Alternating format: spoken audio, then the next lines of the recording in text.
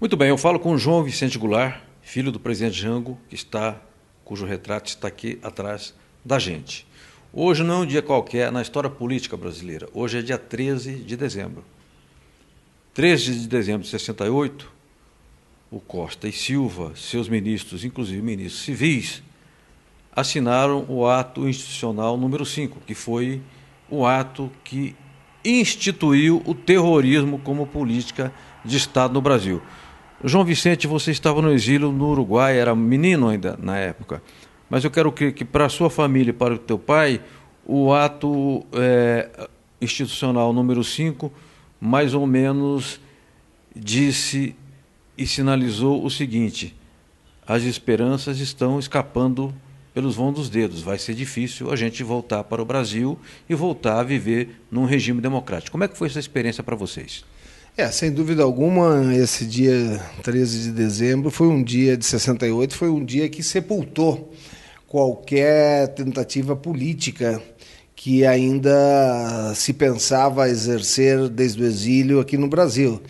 O meu pai, o presidente João Goulart, inclusive tinha, tinha até aceitado fazer a frente ampla, recebeu o, o ex-governador, inclusive inimigo político dele, Carlos Lacerda, no exílio, e junto a Juscelino tinham feito a frente ampla para lutarem contra a ditadura primeiro. Tanto é que naquele momento Jango diz: olha, governador, o Brasil primeiro, vamos fazer a frente ampla, depois nós é, acertamos as nossas diferenças, mas o Brasil está na frente.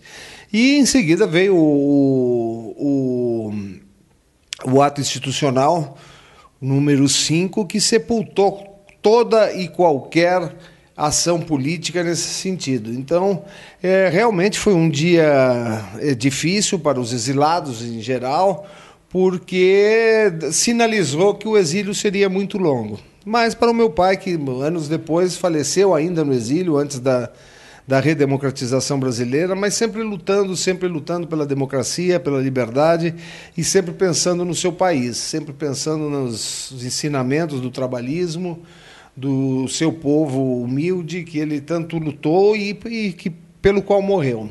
Então esse realmente é um dia fatídico, né, na história de nosso país, um dia onde o terrorismo de Estado se instalou no Brasil, onde as pessoas começaram a desaparecer sob a tutela do Estado, as torturas, os desaparecimentos, as mortes.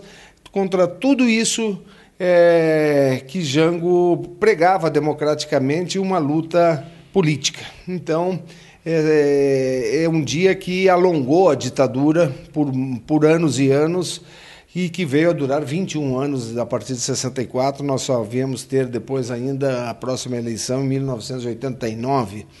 Então é um dia realmente que nos traz uma lembrança muito triste, muito triste porque sepultou definitivamente a esperança daqueles exilados que pretendiam retornar ou pretendiam é, ter uma esperança de uma abertura política.